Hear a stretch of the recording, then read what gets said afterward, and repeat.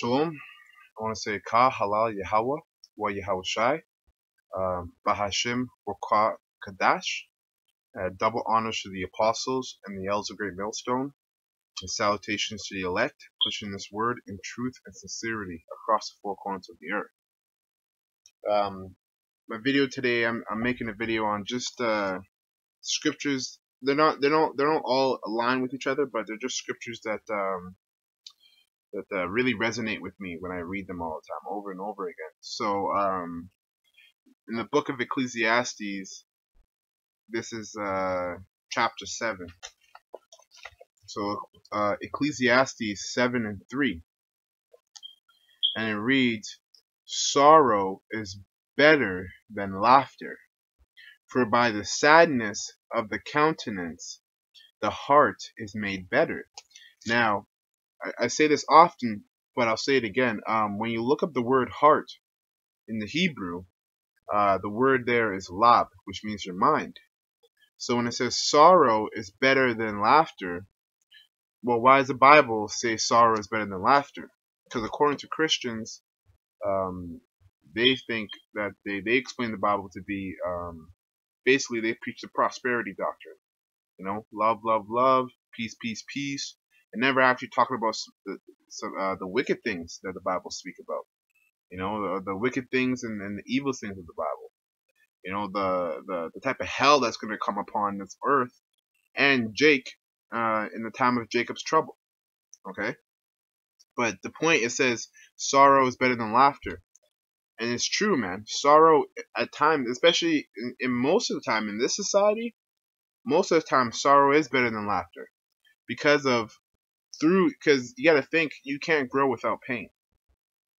An example of that, you know, if you're an athlete, you go play basketball, you you you play whatever sport, you know, and you're winning all the time. If you're always right and you're always winning, there's nothing to be learnt. Hence why you're always right and always winning. But it's not you don't learn. It's not it's um it's not until you face adversity or pain in some or fail in some form or fashion it's when you learn. It's actually when you start learning. Okay, and in th- and in this kingdom, Esau being the rulers of this kingdom, all right, uh, the the the banking families, they're um, okay, they're big on pushing um uh, that uh, that happy lifestyle all the time. You know, when that's just not the reality of things. That's just not the reality of things. In this world, you're you're you're you're you're um you're you're um are convinced to think happy and good thoughts all the time, which keep you at bay and actually keep you blinded from the truth. And and that's when you come into this truth, man. And when you come into this truth, and the Lord gives you the Spirit to do His work, you're gonna face lots of hell and lots of adversities. Okay, you're going to be going Satan as soon as because like I, I, said this a couple of videos back, but Satan's not looking for the people who are in the world because he already has them. Satan's looking for people who are trying to go against the world. All right, because most likely the people who are going against the world, well, they're doing it because they they're of the Most High. I mean, they're they're, they're of the elect. They're working for the Most High in some shape or form. So, in in and and the scriptures talk about being um Actually, I'll just get that real quick. Because when you're in this truth, man, when you're doing this work, a lot of a lot of a lot of your life in this truth is sorrowful.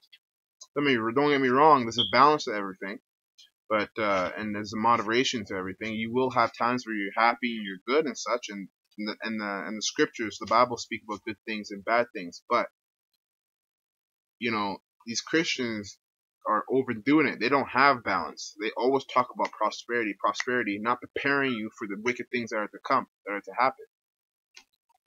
So, um, my precept is uh, Revelations 3 and um, Revelation 3 and 19, and it says, As many as I love, I rebuke and I chastise and I chasten. Be zealous, therefore, and repent. That's straight and forward, man. The Lord said, For as many as I love, I rebuke and chastise. Or it's like, yeah, I rebuke and chastise. And the Lord will do that to you, man. When you're in this truth, you're gonna catch hell. You're gonna catch hell, and you're gonna you're gonna be tempted at all corners. it is um, it is in your best interest to make sure that you're doing everything within your power to str- to strengthen to strengthen uh, your spirit, whether it be through fasting, or overcoming adversities, or whatever, or studying, going out there doing the work, week in week out, making videos like I'm doing right now.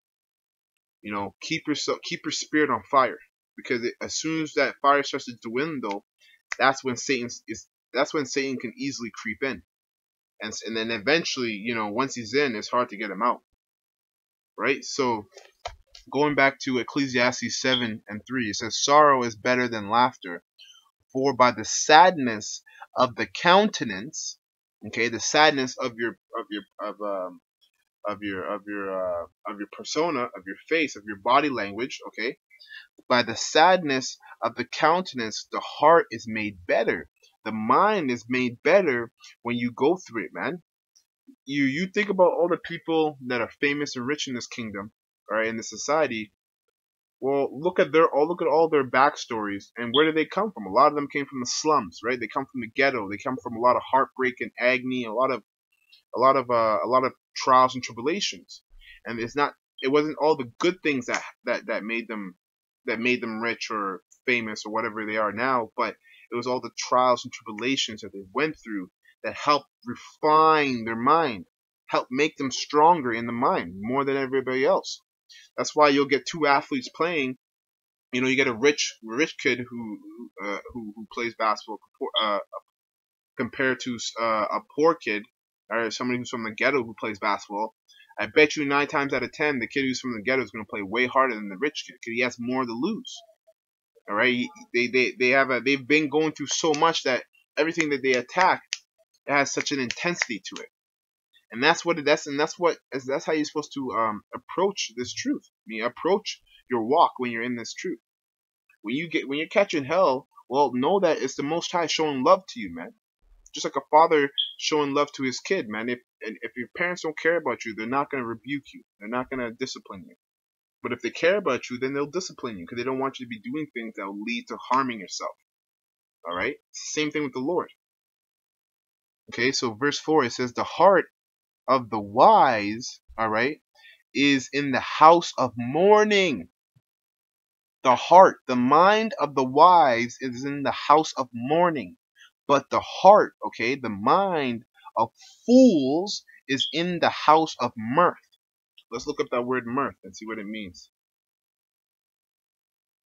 Give me two seconds.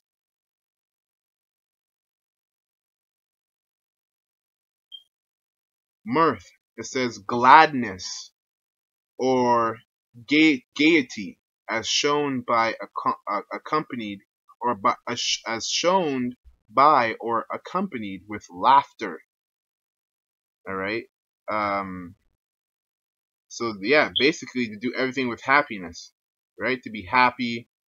Uh, it says this the uh, words that are synonymous to mirth are cheer, cheerfulness, cheeriness, festivities, gaiety, um, gayness. You know, because the word gay means happy. Um, mirthfulness. So basically, the word mirth to be means to be in a happy state. All right, to be in a joyful, cheerful state. So when you read the, the scripture again, it says, The heart of the wise is in the house of mourning. Why the heart of the wise in the house of mourning? Well, because the elect on this planet, they know, they really know what's going on. Their mind, they're open up to the truth. All right, it's like the Matrix. We're in a paradox where, where, where everybody thinks everything is good. You know, life is good. There's no World War Three is not happening. Blah blah blah. This and that and the third. And because of that, they have they have no they're, they're always constantly happy. They're always constantly good and and in a deep sense, in a deep sense, they're constantly kept at bay, right? But for the ones who know the truth, the ones for the men who are woke up, woken up to the truth and know the truth, guess what? They're constantly, you know, are in a in a house in in, in, a, in a state of mourning most of the time because they know the truth. They understand what's really going on in the world, and they understand that there's really strings being pulled behind the scenes, and the government is not for you. The government is really against you. You know, uh, uh, Esau is really your enemy. You know, all this, that, and the third, man. There's so much, there's so much that the society is hiding. so much that Esau is hiding in society, it keeps so much people, it keeps everybody at bay. That when for a person to wake up to the complete truth, there's no no way you would be you wouldn't be upset. There's no way you wouldn't be in that in a state of mourning. All right. So verse five it says, "It is better to hear the rebuke of a of the wise than for a man to hear the songs of fools." And that's very true, man. That's straight into the point. You know, you you know people in this in this world always say, you know, I'd rather have honest friends than than uh, than friends that lie. Well, that's bullshit because when you do become honest, you get a lot of people who go against you. But yet the same people who go against you will say, "Yeah, I want honest friends," and then when they get honesty, they they uh, they buck up and get emotional. You know, that, and that's how that's how 99% of this world is, society is. That's why no one, everybody's cordial. No one talks about the truth anymore. No one, no one really says says anything real. Hence these churches, man. By these churches, these pastors are never going to really tell you guys the truth at all because in the end of the day, they need to make money. They need to make money, and and and the church is a business. And if they keep telling you the truth, which a lot of it is is hard to, it's hard truth, man. It's not easy truth. It's hard truth. That that will send a lot of people away. Right? That'll be sending a lot of people away. King Solomon said, out of a thousand people, he found one righteous man, and out of a thousand women, he found none.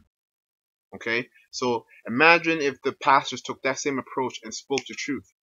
They would, they're like, two thirds of the congregation would be gone. You know, a couple men might, they might resonate with a couple men and they'll stay there. But these pastors are not sincere. They're looking for money, so they'll tell you what you like to hear because it keeps you in their business at their church. And that's just the truth. All right, so uh, I'm going to skip to verse 7. It says, Surely oppression maketh a wise man mad, and a gift destroyeth the heart. Now, this is parabolic. It doesn't literally mean a gift destroys the heart, I've gotten gifts before, and you know, it doesn't destroy your mind. But it's talking about when you're constantly um, in a state of um, happiness, in a state of um, what's the word I'm looking for? Um, we're like okay, for example, if you think about somebody, you think about rich people, all right, rich people who constantly get whatever they want. They can get whatever they want. They're rich. Their minds are are actually not as smart as they could be if they were if they're if they were constantly having if they were having more um adversity, if they're going through more adversity. Like for example, the, the Kardashians, they woke up in a rich family. Okay, those those those uh, those women in that family woke up in a rich family. All right, the daughters of that family. You think you think and Kylie uh, Kylie uh, um Kylie uh, Kardashian would understand the struggles of a man that comes from the slums? Absolutely not. And by that reason alone, she's a lot more frivolous and a lot more gay, and she has a lot more gaiety in her because she doesn't understand because she's getting multiple gifts, which destroys the mind. You know, you you if you have a kid, you raise a child, and you're constantly you're constantly spoiling your child. Okay, that's even a better example. You're constantly spoiling your child. That child will grow up to be a very rotten child, man. Very rotten, very selfish because it's used to getting whatever it wanted. It's used to getting all the good things. But if you have a child who gets who gets um who gets gifts once in a while, but is is is uh, uh but you're strict with them and you're very disciplined with them, they're gonna grow up to be a very disciplined uh person. All right. So that's why it says surely oppression, and it's true, oppression would make a wise man mad. You know, the elect, we we you know the elect, Lord William of the elect, we understand where we're supposed to be. We understand that we're supposed to be on the top, ruling the world, okay? We're supposed to be in, in, in magnificent bodies, celestial bodies with spiritual powers, bodies that can obtain, that will have the Bible, the word of the Lord, uh, uh, in them to make it nature, man, okay?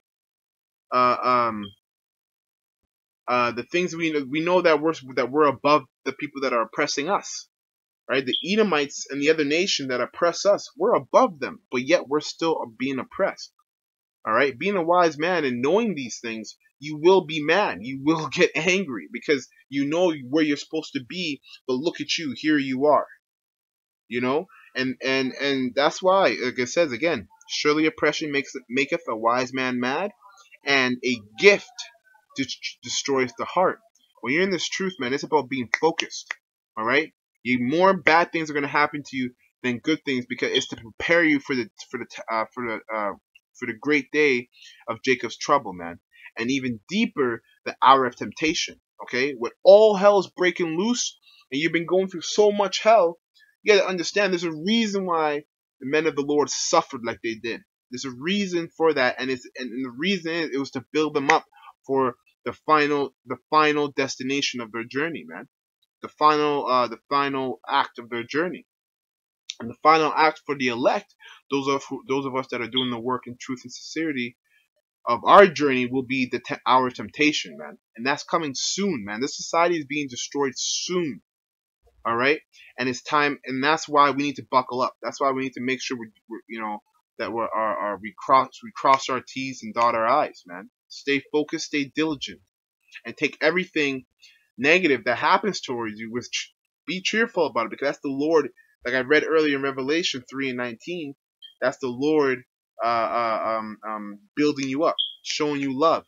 All right, because when all hell breaks loose and everybody's running around like chickens with their head cut off, because you've already um you've already been through the trenches, You've already been through the hell. This is nothing new to you. You'll be able to be stable, calm, and make decisions from a wise mental state of mind, not a not a not a mind that's all over the place, chaotic. Hence, the scriptures say, wisdom and knowledge should be the stability of that times. When all hell's breaking loose, guess what's going to keep you in track? The word, man, the knowledge, not just the word, but the experience that comes with this word, okay? So, anyways, I feel like I made my point. So, with that, I'm going to close. Kal Halal Yahweh, Wa Yahweh Shai, Ba Hashem Rukah Kadash. Double honors to the apostles and the El's Great Millstone. Salutations to the elect pushing this word in truth and sincerity across the four corners of the earth, man. Death and destruction to this wicked kingdom. Two thirds of Israel. Shalom.